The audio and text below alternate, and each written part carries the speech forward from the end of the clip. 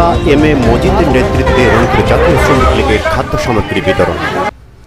Corona ভাইরাসের সংক্রমণ রোধে সরকারি নির্দেশে কাজকর্ম ছেড়ে ঘরে বসে থাকা নিম্ন আয়ের মানুষের মাঝে রংপুর জেলা শ্রমিক লীগের উদ্যোগে চাল, ডাল, আটা ও তেল বিতরণ করা হয়েছে। আজ দুপুরে নগরীর আহমদ কার্যালয়ে জেলা ও মহানগর শ্রমিক লীগের উদ্যোগে রংপুর মহানগর জাতীয় শ্রমিক লীগ ও রংপুর জেলা মোটর শ্রমিক ইউনিয়নের সাধারণ সম্পাদক এম এ মজিদের নেতৃত্বে প্রায় এক হাজার মানুষের মাঝে খাবার সামগ্রী বিতরণ করা হয়। এ সময় উপস্থিত ছিলেন জেলা শ্রমিক লীগ ও মহানগরের নেতৃবৃন্দ।